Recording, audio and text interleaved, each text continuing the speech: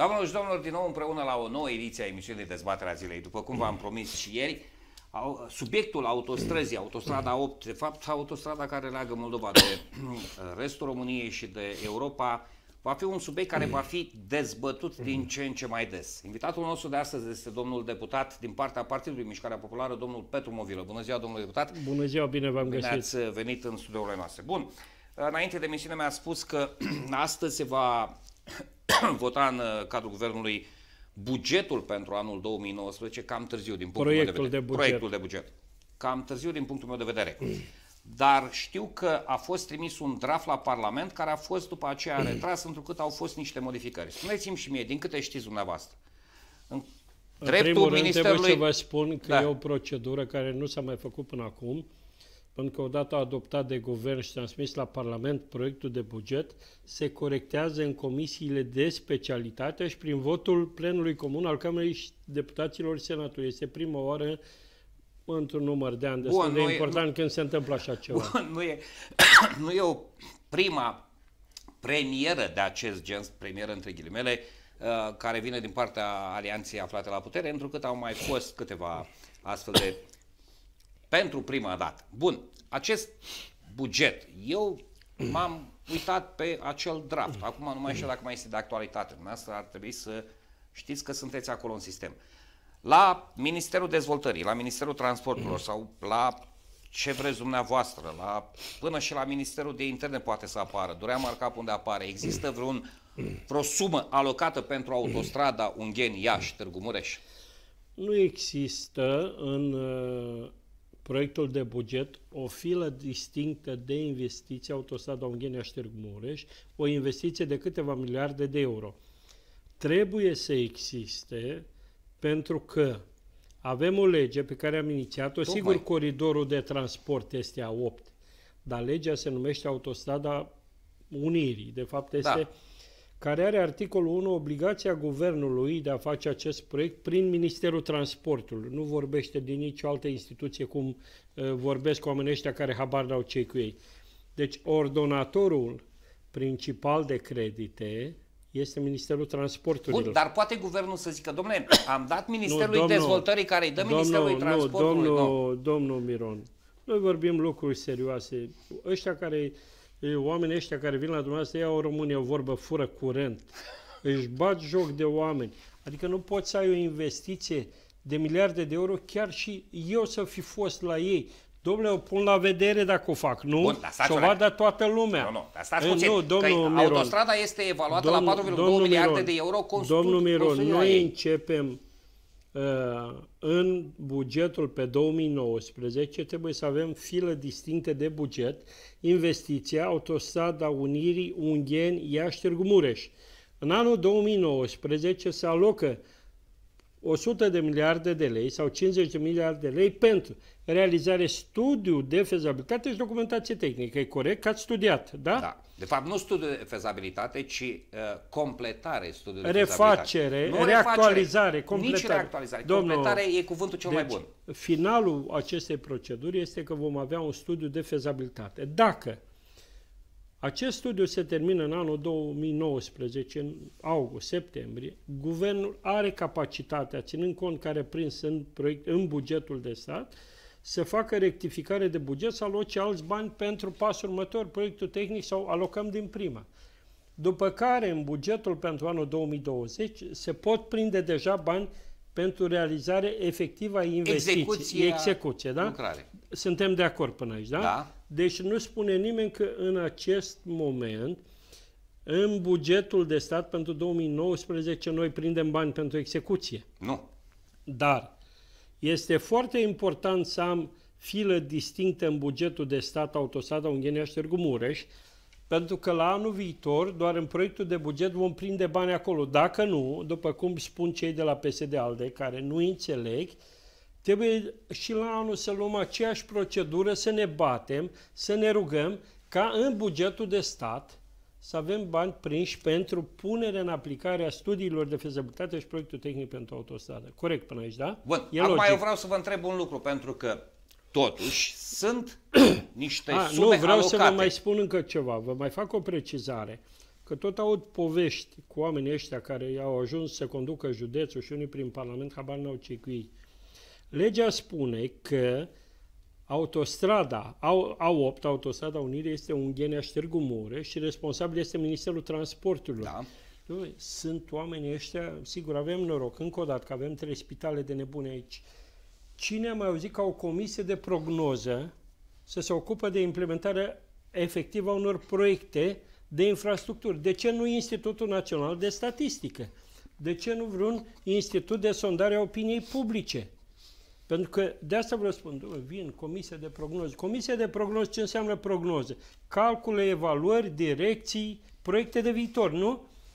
Dar legea spune foarte clar, autostrada Ungheni-Iași, Târgu Mureș, este pusă în aplicare de Ministerul Transportului. Și Prin, aici este prin unitățile subordonate. de nu? Ministerul Transportului. Sigur că prin, minist- prin uh, instituțiile subordonate, pentru că Ministerul Transportului, având filă distinctă de buget, îi dă cnaierului, ai filă distinctă de buget, deci din bugetul propriu al Ministerului Transporturilor, ție îți dau pentru funcționare, cum de la CFR Infrastructură. Și suma asta Călători- este pentru Dar asta autostradă. este strict pentru autostradă, tu nu mai o pui în practică, nu mai fac Consiliul de Administrație director la CNR înțeles.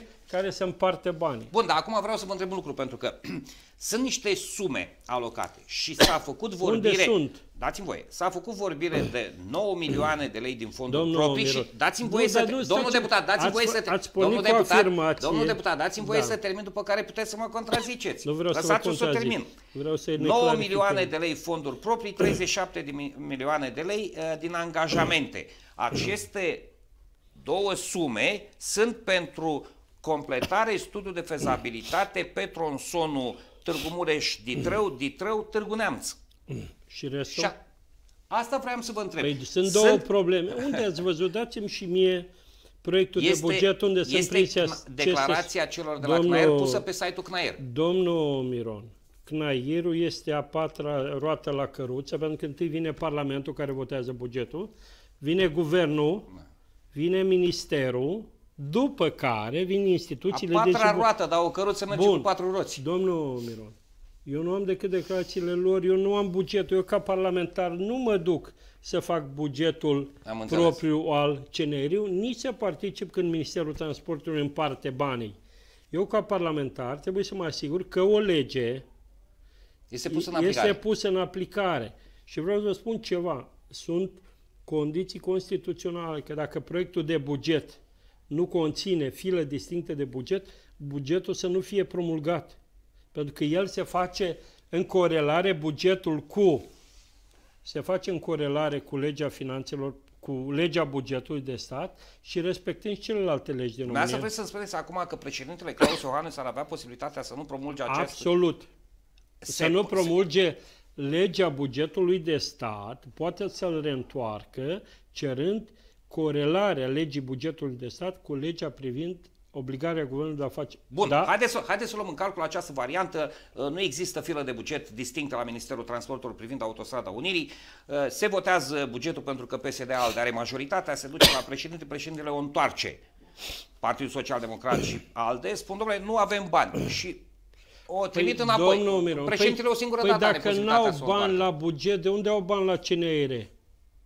Nu, nu, v-a- v-a zis, acele sume care sunt, sunt pentru completare studiul de fezabilitate, Târgu Domnul Mureș, Miron. Ditrău, Ditrău, Târgu Neamț. E bine că sunteți de partea cealaltă, ca oamenii să înțeleagă ce trebuie. Banii, în esență, fie că sunt prinși acolo sau acolo, ei ar trebui să existe, ipotetic.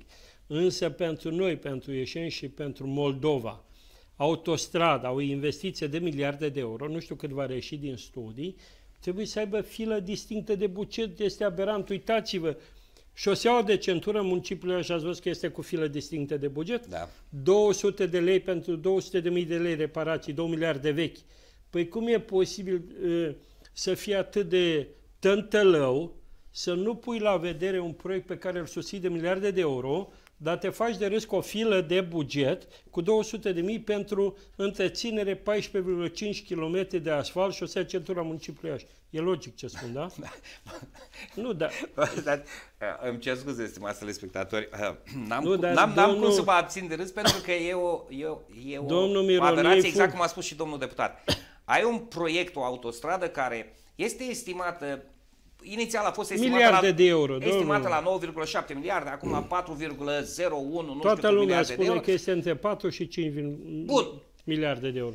Nu pui nimic la fila asta și într-adevăr pui Dar te 200.000 lauzi de că o lei. faci. Da, da, deci da. eu despre asta vorbesc și... Uh, Bun, dar nu, vreau să-mi explicați un lucru. Pentru că uh, din toate discuțiile care le-am avut și cu anumiți factori de răspundere, se pare că autostrada Iași-Ungheni Târgu Mureș a fost împărțită pe două tronsoane, cum era înainte pe trei, acum pe două. Uh, Este Târgu Mureș, Târgu Neamț și Târgu Neamț, Iași-Ungheni.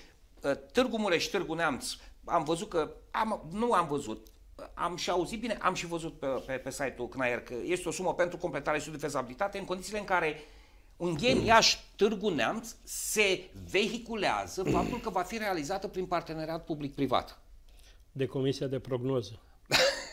Domnul, uh, am un proiect de lege, paranteză, prin care cei care candidează, primari, președinți de Consiliu Județen, viceprimari sau vicepreședinți de Dar Consiliu viceprimarii Județen, sunt numiți de către Consiliul dar Local. și pentru membrii Parlamentului. După ce candidează, ei trebuie să încheie unii dintre ei, care conduc instituțiile, mai ales normal toți, încheie contract de muncă cu primăria sau Consiliul Județean sau cu Parlamentul, da?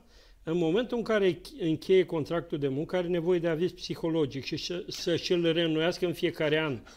Pentru că dacă acest lucru se întâmplă și unii dintre cei care conduc instituții nu vor mai lua avizul psihologic, oamenii vor scăpa de niște Să nebuni facă- care în fiecare zi vorbesc altceva Domnule, și își dar bag joc dumneavoastră, de dumneavoastră spuneți acum de o modificare a legii. Legea spune că în momentul în care te angajezi, pe lângă uh, uh, actele de studii, tot trebuie să ai și acel certificat tocmai- medical că nu suferi de boli psihice, Domnule, că trebuie. nu ai... Aici, la aleși, este o problemă. Iar eu, unul, și noi am mai discutat acest lucru de multe ori, pentru că nu e normal să ai un ales care într-o zi spune ceva, în altă zi spune altceva. Uh, Oamenii care ne privesc trebuie să înțeleagă, băi, oamenii ăștia pe care am ales au o direcție, au continuitate în proiect, domnule, și nu în fiecare zi vorbesc dacă e norat sau soare în funcție de cum Bun. e lumina afară. Do- Suntem, Întorcându-ne, nu, nu, suntem spre finalul emisiunii și vreau să vă întreb- Întorcându-ne, Așa. demersul nostru clar, foarte important al Iașului și al Moldovei, este să punem legea în aplicare corect, care legea spune că întreaga lungime a acestui coridor de transport a 8 autostrada Unirii de la Ungheni la Târgu Mureș îl pune în aplicare Ministerul Transportului și aici cade și varianta de ce nu au scos la licitație tot Surse de finanțare? surse de finanțare.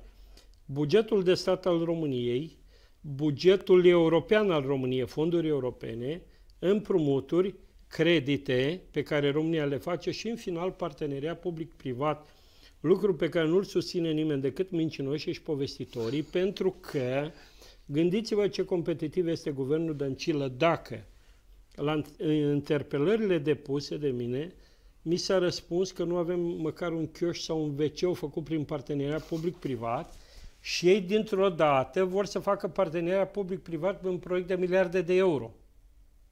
Păi poate partenerii privați nu se Nu, aruncă domnule, pentru nu sunt. 50.000 de euro, Deci se aruncă nu- pentru deci- 4 miliarde.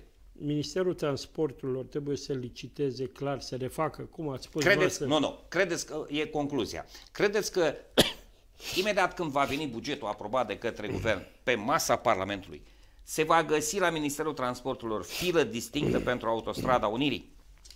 Eu am avut discuții cu liderii din conducerea PSD-ALDE la vârf, la vârful cel mai Da. de sus și le-am spus acest lucru că este absolut necesar de corelat legea. Credeți că va fi filă? Mi-au garantat că va fi. Ah, bun. Deci mi-au garantat, dar și mai trag un semnal de alarmă. Lumea să fie foarte atentă la cei care au spus că nu vor vota bugetul dacă autostrada nu este în buget, nu pe la companiile subsecvente, că așa mă gândesc că s-ar putea să vină la districtul de la Valea Lupului, la drumul naționale, care spune că se ocupă de porțiunea de, că e singurul district de la Ungheni până la Târgu Frumos. Și spune fiecare district va primi în luna mai bani pentru a face porțiuni de autostradă. Este aberant. E un lucru serios, este cel mai important proiect de infrastructură pe care îl avem și trebuie să ne batem că avem o lege, avem la ce ne raporta. Mulțumim foarte mult pentru participarea la emisiune. Încă o dată, doamnelor și domnilor, îmi cer scuze că am zâmbit în timpul emisiunii. Sunt niște, niște chestii, niște aberații care se pot vedea în, în proiectul de buget pe 2019, ceva strigător la cer. Nu este de râs, este de, nici de plâns, ci este de, uh, cum să vă spun eu, de... Hmm, în fine, fără, fără comentarii. Uh, punem punct ediției de astăzi, nu punem punct subiectului, v-am mai spus, autostrada și finanțarea ei și realizarea ei va fi un subiect care va fi dezbătut în continuare la postul nostru de televiziune. Până data viitoare, cele bune. La revedere!